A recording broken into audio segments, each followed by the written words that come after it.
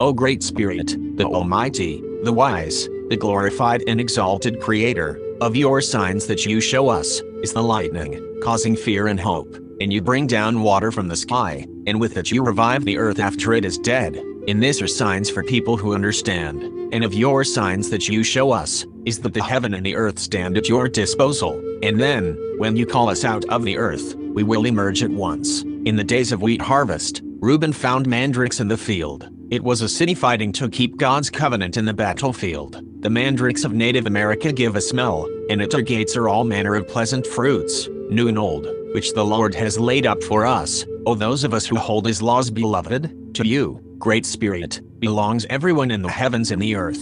All are submissive to you. You keep your promises to the tribes of Native America, and we will be restored to our sovereign rights in our lands. Amen.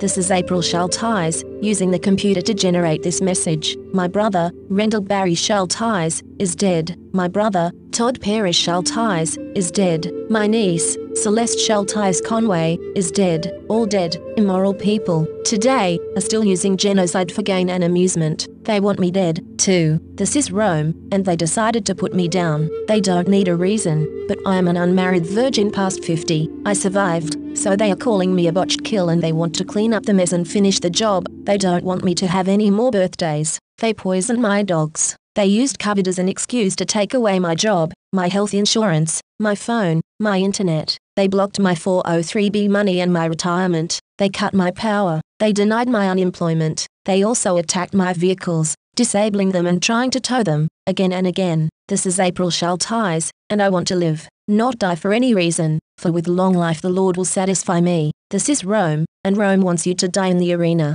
Rome is still here. Rome crucified Christ and created Christianity to cover up the genocide of Jews, Africans, Muslims, Russians, Irish, Celts, Japanese, Chinese, Aborigines, Vietnamese, Koreans, Hmong, Hawaiians, Eskimos, Native Americans, and more. Mexicans are dying on the border every day. Never, never forget, never. The scriptures say, Lord of the worlds, you are our true master. Unquestionably, yours is the judgment, and you are the swiftest of reckoners. Children of Israel, cease not to cry unto the Lord our God for us, that he will save us.